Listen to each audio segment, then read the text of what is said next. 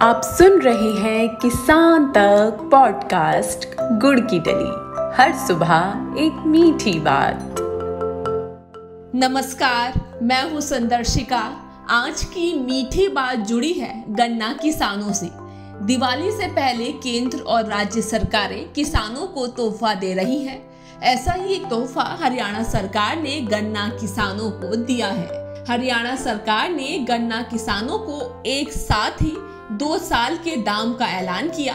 इसी के साथ हरियाणा में गन्ने का दाम बाकी राज्यों की तुलना में सबसे ज़्यादा है। अब जानते हैं किस राज्य में कितना है गन्ने का दाम। हरियाणा में गन्ने का दाम अब देश में सबसे ज़्यादा तीन सौ छियासी रुपए प्रति क्विंटल हो गया है। पंजाब गन्ने के दाम के मामले में दूसरे नंबर पर है। यहाँ तीन रुपए क्विंटल का रेट मिल रहा है। उत्तर प्रदेश में गन्ने का दाम 350 रुपए प्रति क्विंटल है, जबकि ये देश का सबसे बड़ा गन्ना उत्पादक है।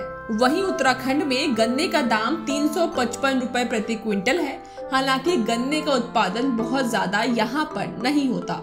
वहीं बिहार में गन्ने का भाव 335 रुपए प्रति क्विंटल है, यहाँ भी बहुत ज़्यादा गन्ना नहीं होता। इन राज्यों में स्टेट एडवाइजरी प्राइस लागू होता है, केंद्र सरकार द्वारा घोषित उचित और लाभकारी मूल्य यानी एफआरपी सिर्फ़ तीन सौ प्रति क्विंटल है।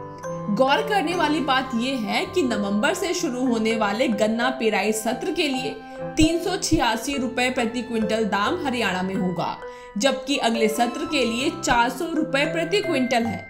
ये एक तरह से चुनावी दाव है। यहाँ के किसान लंबे समय से गन्ने का दाम चार सौ रुपए प्रति क्विंटल करने की मांग कर रहे थे, जिसे अब पूरा कर दिया गया है।